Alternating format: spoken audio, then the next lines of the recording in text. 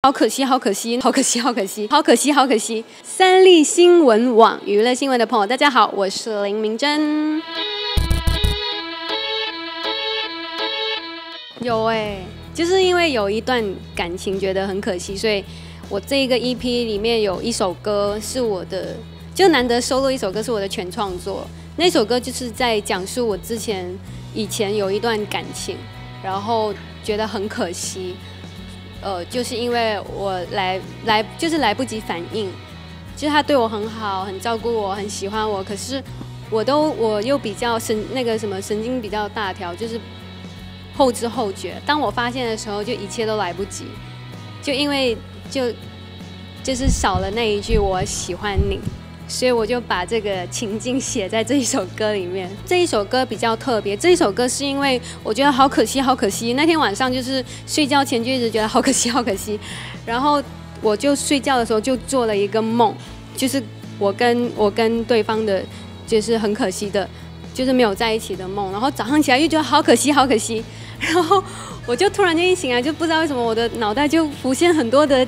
很多很想说的话跟。呃，一些一些曲在我的，然后我赶快就拿那个吉他，然后赶快录音，然后就在半小时内就词曲全部出来。可是那个就蛮久以前，所以我就一直收着，不敢不敢不好意思拿出来。就是最近刚好说要出一批，我就硬着头皮拿出来给大家听听看。哎，怎么知道大家因为是投票选歌，然后怎么知道哎这首歌有在投票里面？这样最多的反应反而是那个韵律球。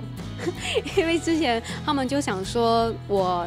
就是很喜欢健身，很喜欢运动，然后就他们有想说，哎，加一些健身的一些东西在里面，然后就东想西想，突然间就想到韵律球，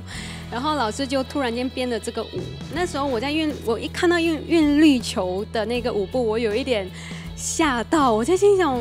天哪，我能我能我能跳到吗？我能我能做到吗？然后老老师编舞老师就跟我说，其实他有在把一些就是，呃，因为他觉得就是球会一直不停的就是有波动嘛，像我们在摇摇摆的时候啊，乱动的时候，那个球不是会跟着波动？他就老师就说，哎，就是很像我们女生在谈恋爱那种心跳，你知道扑通扑通的那个感觉，就是很多东西他都会把那个。我们女生在谈恋爱的心境，呃，跟那个舞蹈编在一起，所以其实韵律球算是，呃，我蛮喜欢的一个 part。我觉得最重要是兴趣一样吧，就像我很喜欢打电动，